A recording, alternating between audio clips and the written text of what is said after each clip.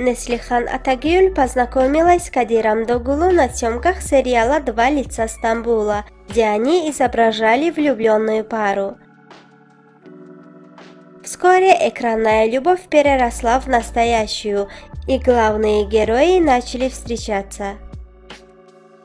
В 2016 году Неслихан Атакюль и Кадир Догулу поженились. Фанаты с нетерпением ждали, когда же у их любимых актеров появятся дети, но такие новости заставили себя долго ждать. Однако в прошлом месяце в сети распространилась новость о том, что Неслихан Атагюль беременна, но позже актриса опровергла все и сказала, что это все слухи. Некоторые источники пишут, что Неслихан на самом деле была беременна, но у нее случился выкидыш. К сожалению, мы уже никогда не узнаем правду.